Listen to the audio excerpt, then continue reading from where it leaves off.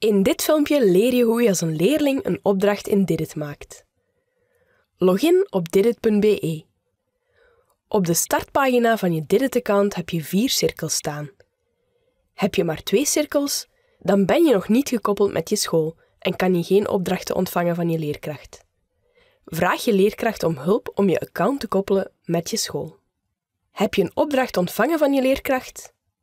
Dan zie je een melding staan in de cirkel Opdrachten.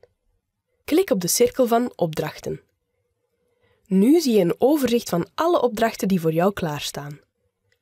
De opdrachten zijn gesorteerd volgens de einddatum waarop de opdracht ingediend moet worden.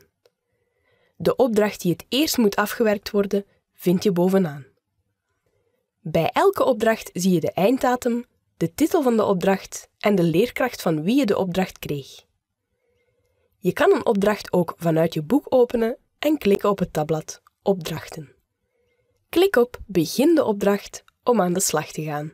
Bij de start van een opdracht zie je een overzicht van al het lesmateriaal en de oefenreeksen in de opdracht. Zo weet je goed wat je allemaal zal doen in deze opdracht. Na het afwerken van een oefenreeks of het bekijken van lesmateriaal zal je opnieuw het overzichtsscherm zien en kun je je eigen leerpad volgen. Klik op de opdracht pauzeren als je de opdracht even wilt stopzetten en later hernemen. Of klik op doorgaan met de opdracht als je van start wilt gaan met de volgende oefenreeks of het volgende lesmateriaal. In het overzicht kan je steeds opnieuw het behandelde lesmateriaal bekijken door er opnieuw op te klikken. De oefenreeksen kan je niet opnieuw maken.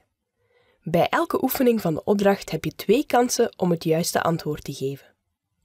Na de laatste oefening of het laatste lesmateriaal klik je op Ik wil naar mijn andere opdrachten om opnieuw naar het overzicht te gaan van al je opdrachten. Of je kan klikken op Ik wil naar de resultaten van deze opdracht om meteen de resultaten van je oefenreeksen in deze opdracht te zien. Denk eraan om je Didit-sessie altijd af te sluiten. Dit doe je door op het slotje rechtsboven te klikken. Ontdek nog meer handige tips over het gebruik van Didit in onze andere filmpjes of check de handleiding.